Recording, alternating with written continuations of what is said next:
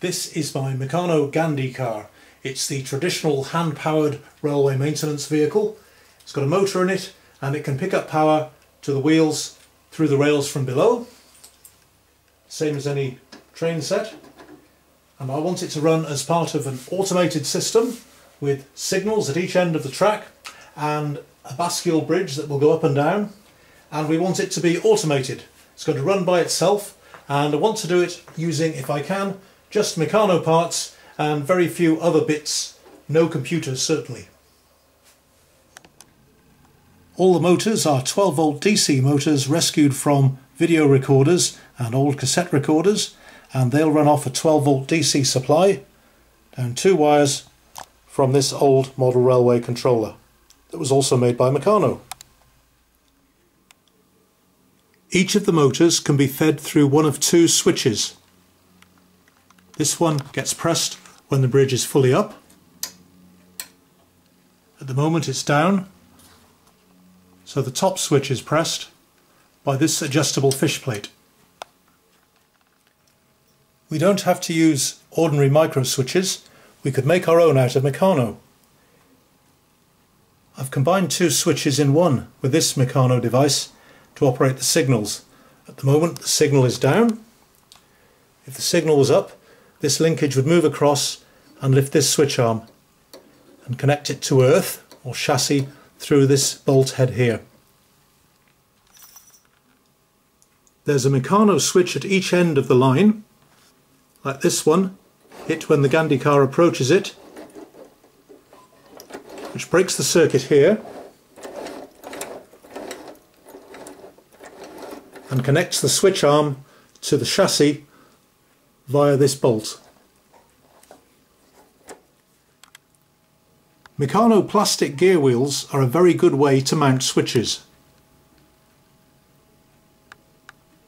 Here's a dual switch like the ones in the signal at the other end except that this time the switch arms either side feed the motor terminal at the bottom and they can be interrupted by this rotating shaft which is a collar and a dome-headed bolt which can lift either switch arm and send it to earth through the collar and the rod in the middle.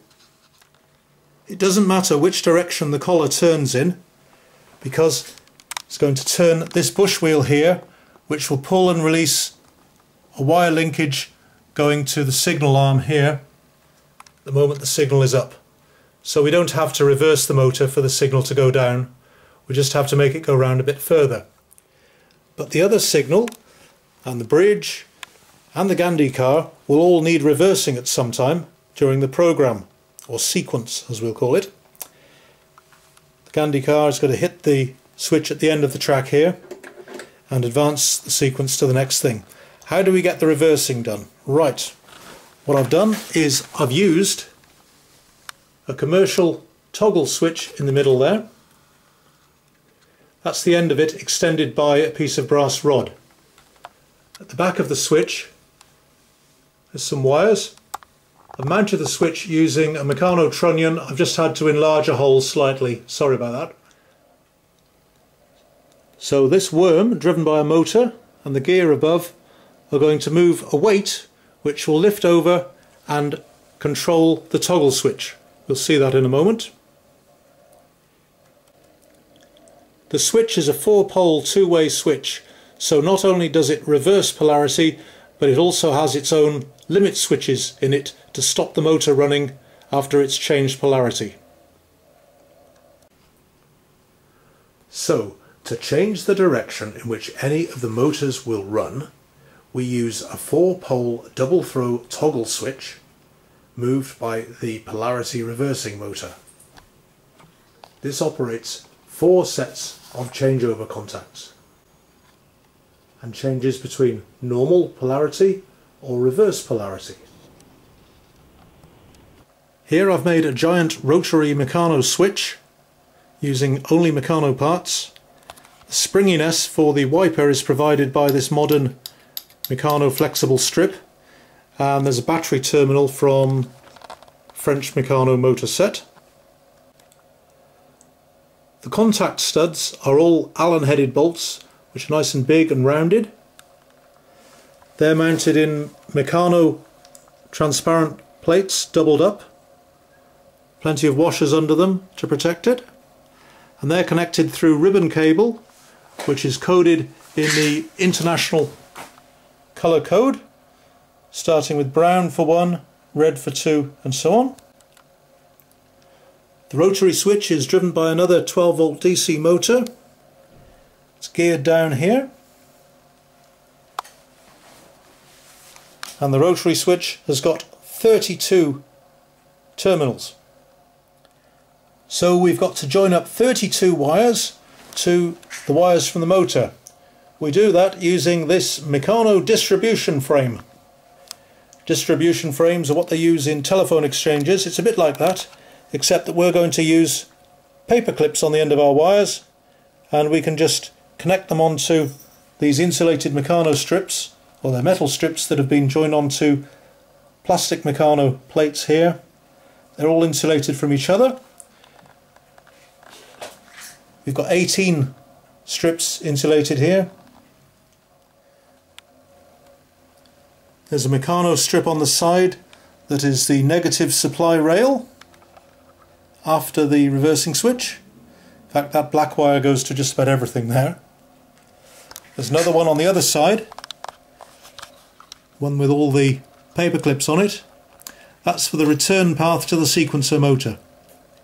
So all the unused terminals are connected onto here and we'll see that happening in a moment. Here's the switch arm moving around now.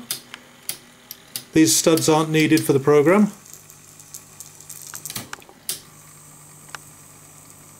That's reversing polarity with that falling weight.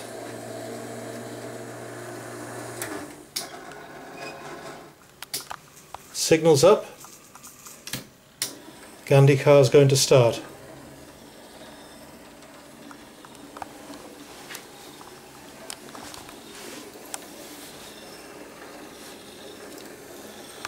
There's a worm drive to the wheels.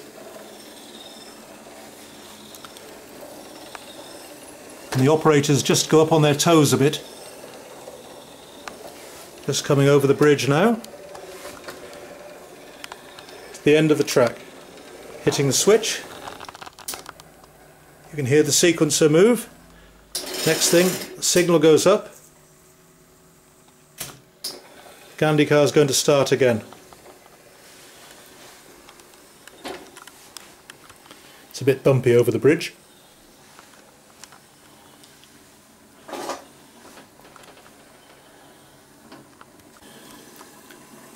Coming to the end of the line now. Ready to hit the next switch. Signal's gone down at the other end. Polarity's changed. And the bridge is going to raise.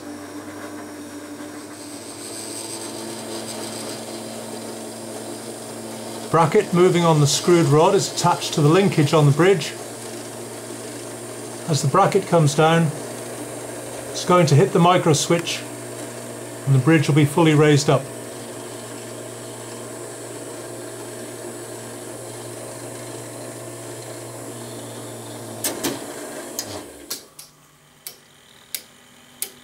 Rotary switch is moving around the unused part of the switch. Could get this to do other jobs as well. Here comes the polarity reversal. Nice falling weight that moves the toggle switch. Bascule bridge is coming down now.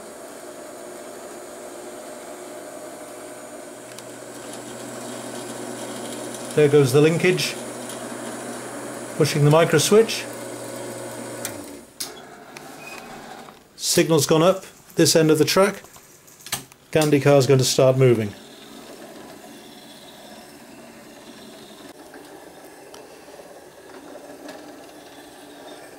Here it comes across the bridge. It's going to operate that switch. The other signal's gone down, this one's gone up.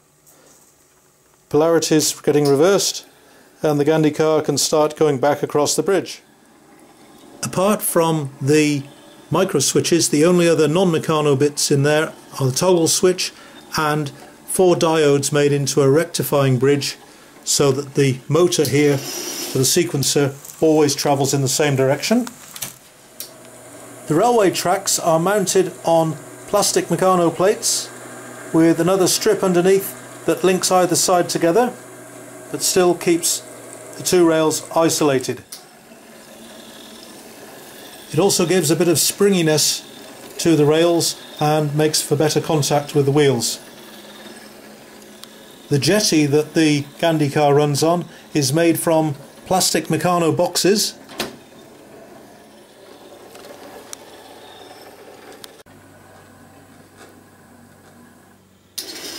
Here's the screwed rod operating the Meccano signal.